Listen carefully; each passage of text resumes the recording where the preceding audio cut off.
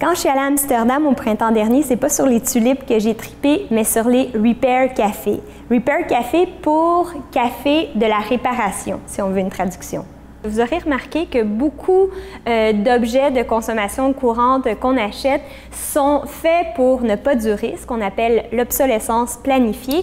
Et quand on veut aller faire réparer quelque chose, souvent on nous dit vous êtes mieux d'acheter du neuf que de faire réparer parce que ça va coûter trop cher en réparation. Donc exprès pour qu'on les jette assez rapidement et qu'on en rachète. Donc ça, ça, permet vraiment de, nourrir le, cycle économique, mais d'un point de vue environnemental, c'est absolument désastreux.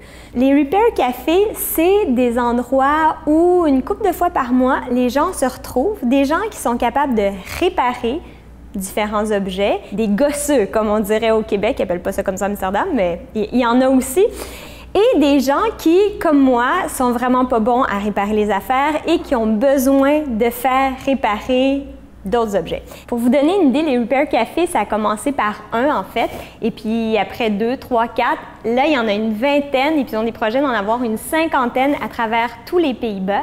C'est un projet dans lequel le ministère de l'Environnement s'est investi, en fait, un demi-million euh, de, dollars à peu près en, équivalence, euh, parce que dans le fond, ça a des bénéfices aussi euh, économique parce que ça détourne des sites d'enfouissement beaucoup de matière et on sait que ça a un coût.